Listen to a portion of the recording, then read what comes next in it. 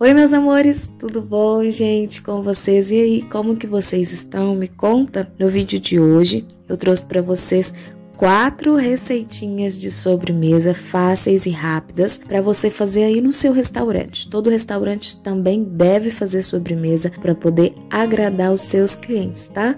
Então espero que vocês gostem. Vamos começar.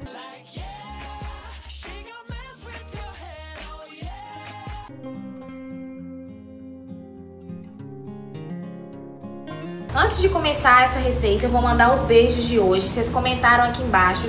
Se você quer que eu mande um beijo pra você, é só deixar o seu nome e a sua cidade aqui embaixo nos comentários, que eu vou falar nos próximos vídeos, tá? Os beijos de hoje vão pra Teonilda Almeida, do Rio de Janeiro. Um beijo pra você. Muito obrigado, viu, por acompanhar aqui o canal. Para Isabel Correia, de Balsas, no Maranhão. Um beijo, Isabel. E para Perusa, de Anápolis, Goiás. Tudo quanto é canto do Brasil tem gente me assistindo. Eita! Muito obrigado, viu, gente, pelo carinho de vocês e pela participação aqui embaixo nos comentários.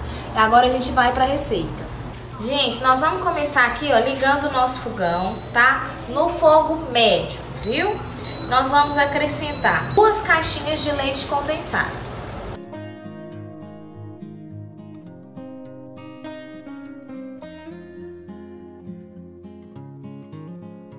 Gente, aí você vai acrescentar duas colheres de sopa bem cheia de manteiga sem sal.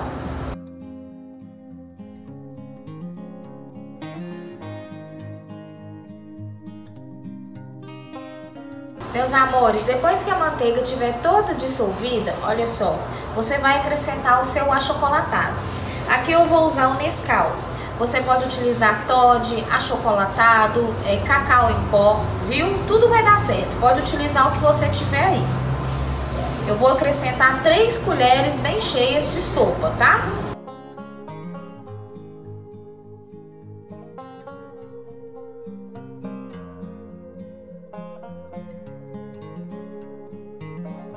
E aí, gente, olha só como é que vai ficar, tá vendo? Um creme é, de chocolate. E aí você vai mexer até dar ponto de brigadeiro, que é quando você empurra assim, ó, e tá desgrudando da panela, dá pra você ver o fundo, tá? Por enquanto tá só homogêneo, mas ainda não tá no ponto. Aí você não pode desgrudar aqui do fogão, viu? Tem que ficar olhando, mexendo sempre. Se a sua panela for mais fininha e não for antiaderente, o que, que você vai fazer? Você vai abaixar o fogo para não queimar e não grudar. E aí vai demorar um pouquinho mais, mas também vai dar certo. É só você continuar mexendo sempre, tá bom? E aí vamos aguardar aí uns 10 minutinhos. E aí quando tiver bom eu volto para continuar com vocês. Meus amores, olha só, gente, como que fica consistente. Não precisa de colocar maisena, viu? É só ir mexendo, ter paciência que vai chegar no ponto certo. E aí agora, ó, a gente já pode desligar, tá? Olha como ficou grossinho. Vamos desligar, colocar duas caixinhas de leite, de creme de leite. Se tiver com soro, o seu creme de leite você escorre. E aí você mexe bem até misturar completamente, já no fogo desligado, tá?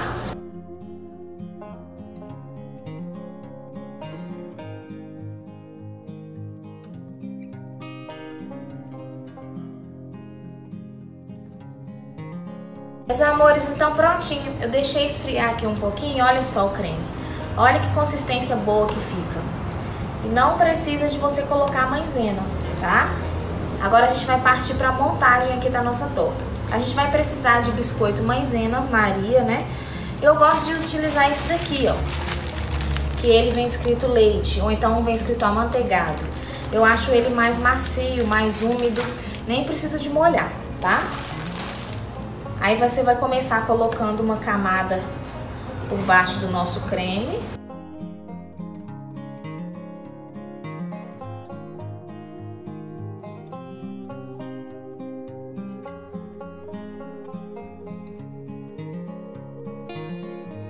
E aí agora, só a primeira camada de baixo que é mais grossa. Agora você vai colocar uma camadinha mais fina e intercalando com o biscoito, tá?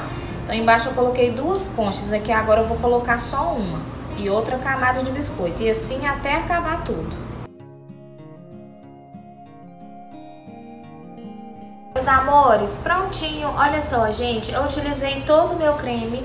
Então foram duas conchas embaixo, depois eu fui intercalando uma camada de biscoito e uma de creme, uma concha de creme.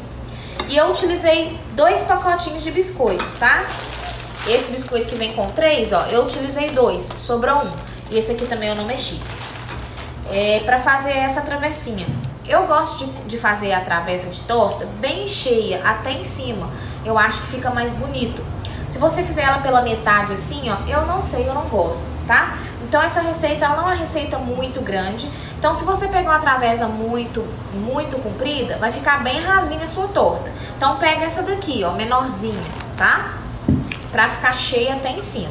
E agora a gente vai cobrir com brigadeiro granulado.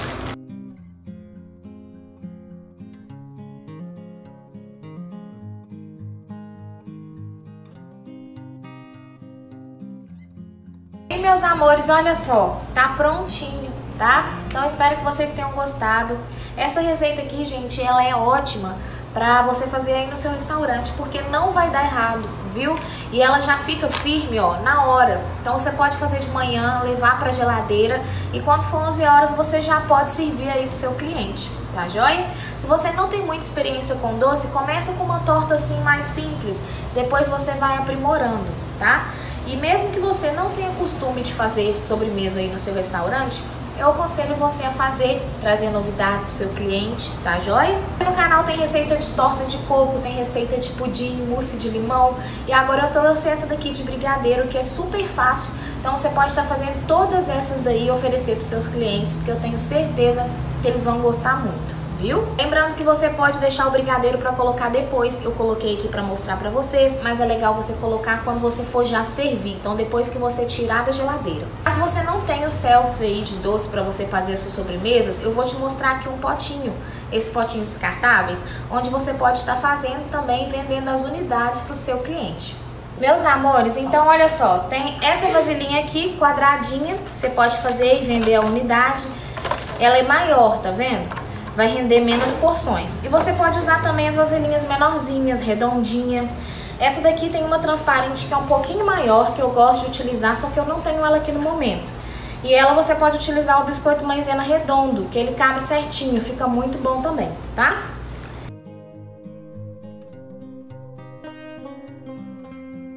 Gente, nós vamos começar fazendo um mousse de limão, mousse simples, tá? Aqui tem duas caixinhas de leite condensado, duas caixinhas de creme de leite. Leite condensado é de 395 gramas e o creme de leite é 200 gramas. E o suco de seis limões. O limão tava grande, tá? Minha mãe espremeu ele no espremedor aqui, deu um copo de 300 ml de suco de limão. Mas, se o seu limão tiver pequenininho, pode ser que precise de uns 8. Aqui eu utilizei seis limões grandão, 300 ml de suco. Vou colocar na minha batedeira, bater por dois minutinhos em velocidade baixa.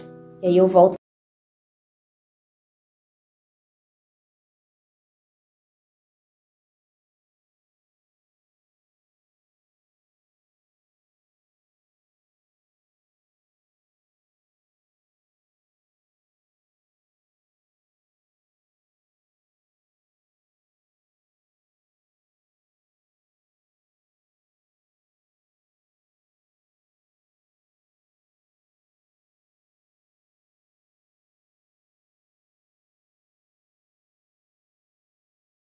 Meus amores, olha só, gente, como que já fica firme, tá vendo? Porém, não tá gelado. Sobremesa tem que ser geladinha, né? Se você utilizar um leite condensado e um creme de leite de boa qualidade e da mesma marca também, ajuda também na consistência do seu mousse. É uma dica aí pra você. E bater sempre em velocidade baixa, colocar a quantidade certa de limão. Vou levar pra geladeira aqui. Enquanto isso, eu vou lavar minha batedeira e a gente vai bater o chantilly para colocar aqui por cima. Gente, agora a gente vai bater o chantilly. Aqui eu vou utilizar o chantilly pronto de caixinha, tá? É bem mais prático. Vou preparar ele de acordo com a embalagem. A embalagem fala que tem que ficar 12 horas na geladeira, ou seja, de um dia para o outro. Aí você vai agitar antes de bater, vai bater em velocidade alta na sua batedeira. Vou fazer igualzinho tá aqui e já volto para mostrar para vocês como que fica. Enquanto bate, gente, aqui nós vamos triturar o nosso biscoito, viu? Ali eu tenho um pacote de biscoito Oreo. Então, vou colocar para bater aqui e triturar o biscoitinho ao mesmo tempo.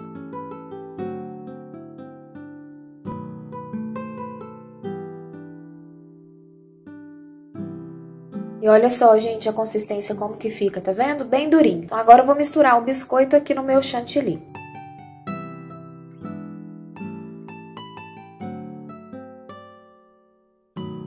Gente, esse aqui é tão gostoso, vocês não têm noção. Fazer esse chantilly com um biscoitinho quebrado também para comer com sorvete fica maravilhoso, tá? Muito bom. Olha como fica firme, gente, e lisinho. Só o tempo da gente bater o chantilly que ficou na geladeira, olha aqui.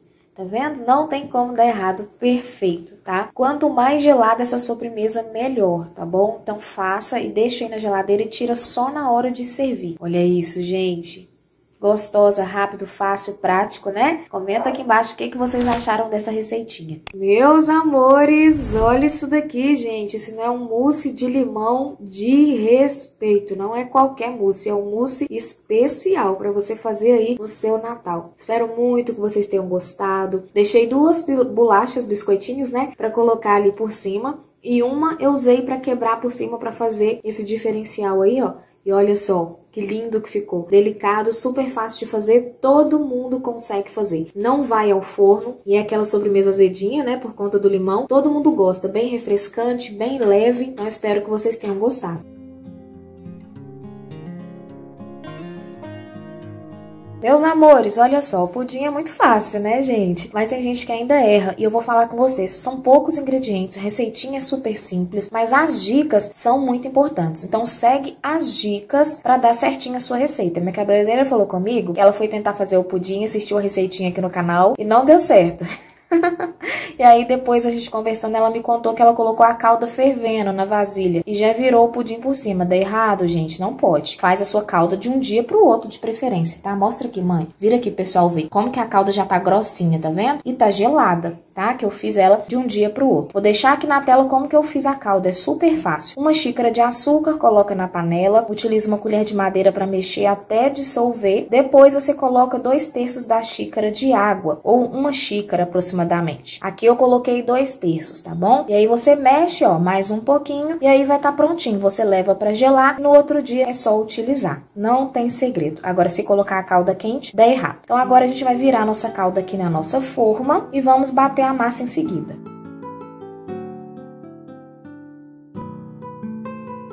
Meus amores, outra dica, passa a calda na sua forma todinha, tá? No centro, nas laterais. Para massa, vamos colocar quatro ovos inteiros no liquidificador com gema e clara, uma caixinha de leite condensado e a mesma caixinha a gente vai colocar de leite integral. E aí a gente vai levar para bater em velocidade baixa por aproximadamente dois minutinhos. Meus amores, bateu, você vira pelo centro para não misturar cair aquele impacto e misturar a sua massa com a sua calda. Mas aqui a nossa calda ela tá grossinha, ela tá gelada já, então não corre esse risco, tá bom? Gente, aqui eu tô fazendo a massa com um leite condensado apenas, então é um pudim pequeno. Se você colocar numa forma muito grande, vai ficar aquele pudim muito baixinho, aí não fica legal. Então, se estiver batendo um leite condensado apenas, coloca na forma menorzinha. A forma grandona precisa de ser com dois, tá bom? Agora eu vou tampar o meu pudim com papel alumínio. Eu gosto de colocar duas folhas de papel alumínio e apertar bem as laterais para ficar bem fechadinho e não entrar água.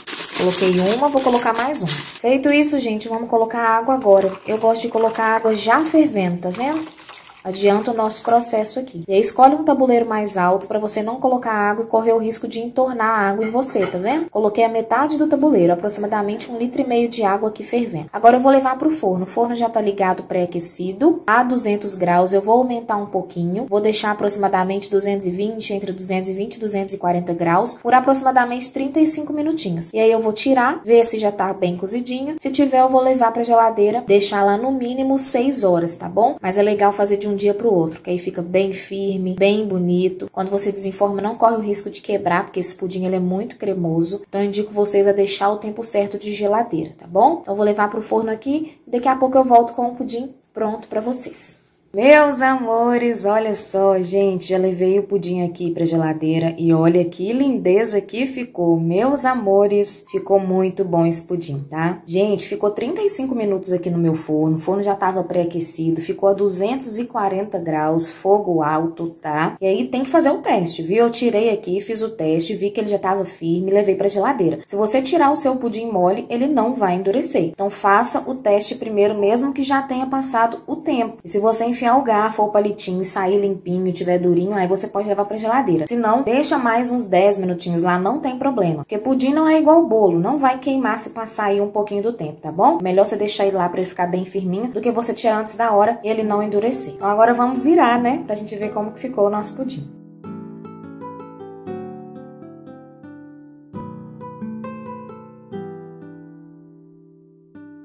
Que lindo! Uau! Olha isso aqui, gente. Isso aqui é um pudim de respeito, viu? Para você fazer aí na sua ceia de Natal. Olha esse brilho dessa calda. Maravilha, né? Olha que lindeza. Tá até refletindo, mãe. Tá bonito demais. Ficou lindo, tá? Segue as dicas, então, para você fazer o pudim ficar bonitão assim na sua ceia de Natal. Deixa o tempo de forno certinho. Deixa o tempo de geladeira também. No mínimo 6 horas ou de preferência de um dia para o outro. Deixa a sua calda na geladeira de um dia para o outro também. Bate as medidas certinhas e aí não tem erro, você vai ter um pudim lindo igual esse daqui.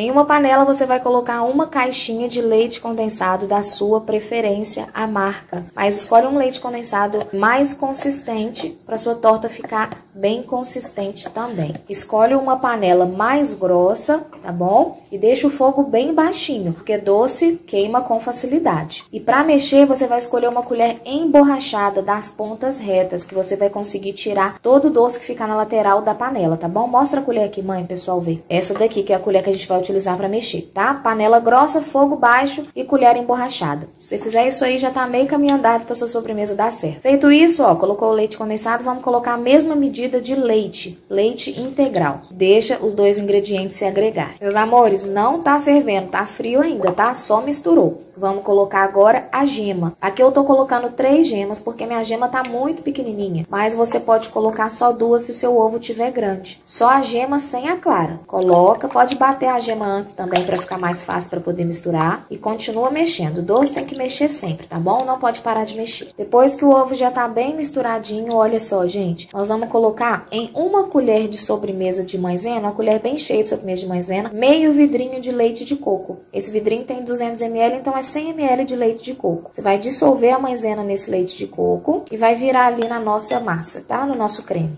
Receitinha super fácil, gente. A gente fez o um curso de saladas aqui no canal e aí eu falei para vocês que lá no restaurante quem fazia sobremesa também era saladeiras. E aí eu dei algumas opções para vocês. Nós fizemos pudim, mousse de limão, se eu não me engano, e mousse de chocolate. Vou deixar o vídeo aqui no final para vocês poderem assistir, tá bom? Vou deixar também o vídeo do bolo de fubá com goiabada e o vídeo do bolo de amendoim. Que eu falei para vocês que eu fazia bolo lá no meu restaurante e aí, na hora do almoço, eu vendia bolo, gente. Então, é mais uma opção para você aumentar aí a sua renda. O que, que você faz? Faz aquele bolo bem maravilhoso, que super fácil, que dá muito lucro aqui do canal. E aí, você coloca na boleira, coloca lá perto da sua marmitex, onde você fecha as marmitas, lá perto do caixa. E quando o cliente for pagar, você já oferece ele. Quer levar uma fatia de bolo pro lanche? E aí, vende tudo, gente. Aí, você vende o almoço, e vende o lanche, vende o bolo.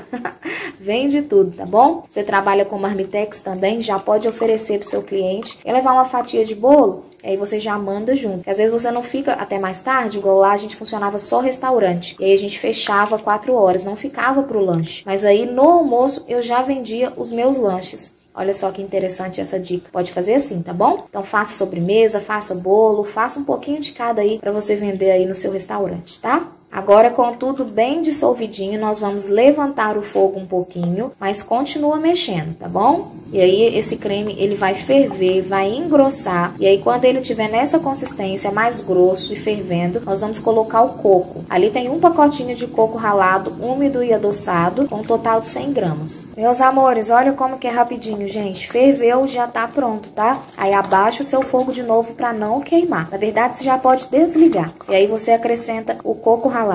Gente, tá um cheirinho tão gostoso aqui. Esse creme é super fácil e maravilhoso, tá bom? Eu gosto de utilizar o coco ralado úmido e adoçado. E aí a marca é a sua preferência. Porque tem uns cocos que são muito secos, aí eu não gosto. Ou então o coco mesmo, tá? Aí você compra a fruta, quebra, rala, fica uma delícia também.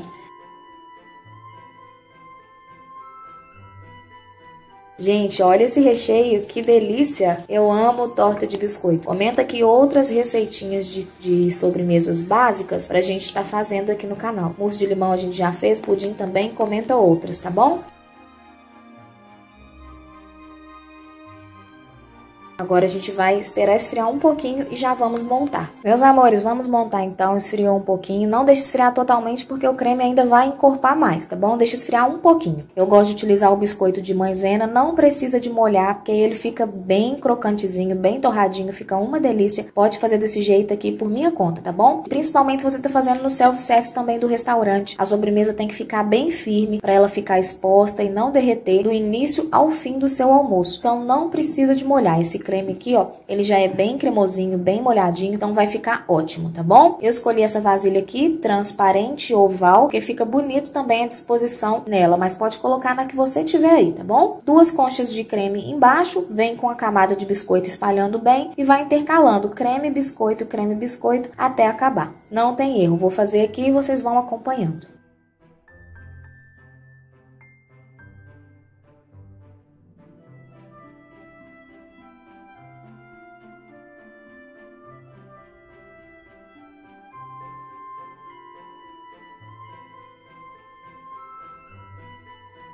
Utilizem a colher, tá, gente? Se você precisar para poder espalhar bem. Porque não precisa de colocar muito creme, não. É um pouquinho. Duas conchas, espalha bem, coloca o biscoito para ficar assim, bem intercalado camada de biscoito e creme. Vou montar tudo aqui então e volto com a torta pronta para vocês.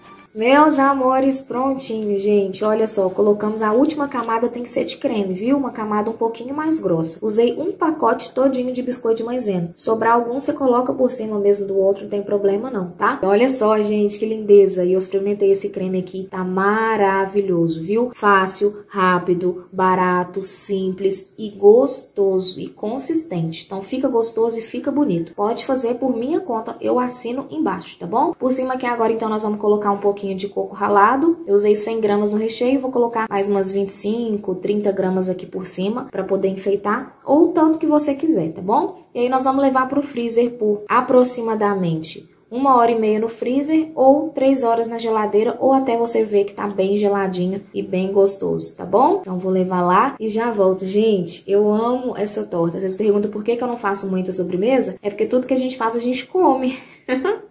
Se fizer muita sobremesa, come sobremesa todo dia, engorda, né? Então vamos fazer mais essa salada mesmo, que a gente tá de dieta.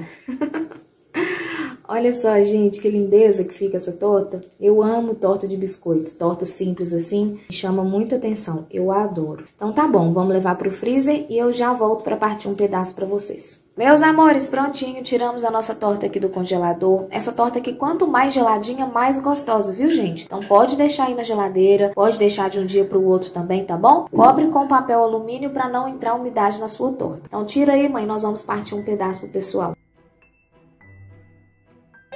Olha que lindeza, meus amores. Uma delícia essa torta. Então, se tiver gostado, deixa o seu like aí no vídeo. Compartilha se você puder. Indica o canal aqui pro seu vizinho. Vai que ele faz essa receitinha e te oferece aí. aí você fica no lucro, tá bom? Compartilha então com a família no grupo do WhatsApp. E quem fizer, não esquece de tirar bastante foto e mandar para mim lá no Instagram que eu tô esperando as fotinhas de vocês. Que Deus abençoe você, sua família e seus negócios. Um super beijo e até amanhã.